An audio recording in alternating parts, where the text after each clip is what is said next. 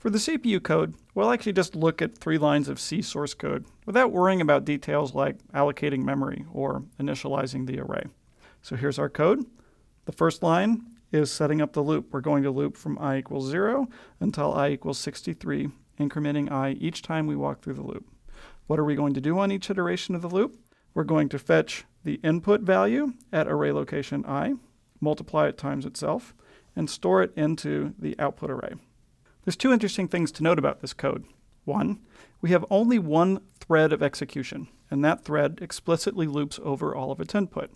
We define thread here as one independent path of execution through the code. This definition is also going to apply to our GPU code.